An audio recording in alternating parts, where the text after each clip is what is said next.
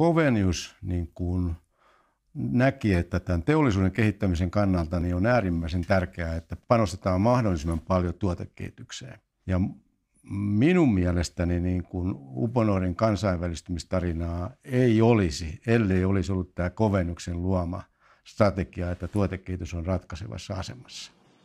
Muovikallen yksi sanontahan oli, että, että jos tehtiin koeajoja tai jotain muuta, että jos onnistuu, niin pidetään helskutinmoinen meteli. Jos epäonnistuu, niin siirretään se nurkkaan ja jatketaan kehittämistä.